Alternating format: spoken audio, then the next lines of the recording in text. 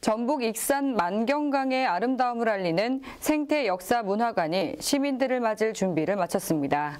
보도에 신서유 기자입니다. 전북 익산시의 만경강 문화관은 2019년도에 착공을 시작하여 3년여 만인 올해 3월에 개관을 앞두고 있습니다.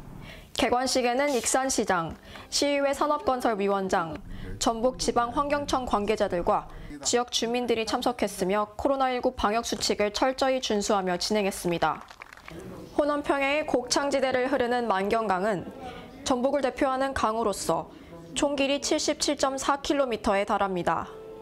우리나라 10대 하천 중 하나로 선사시대로부터 해양교류의 허브로서 막중한 역할을 했습니다.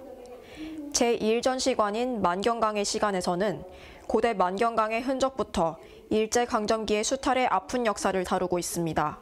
또한 제2전시관에서는 생태계의 중요성을 알리기 위해 만경강의 자연이란 주제로 현지의 어종과 곤충의 표본을 전시하고 있습니다.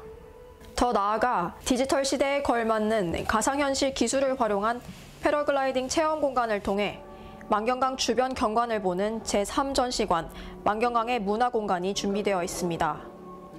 이번 만경강 문화관 개관으로 아이들과 주민들이 만경강의 해양교류 역사와 생태보존에 대해 학습하고 만경강의 아름다움을 전국적으로 알릴 수 있는 기회가 되길 기대합니다.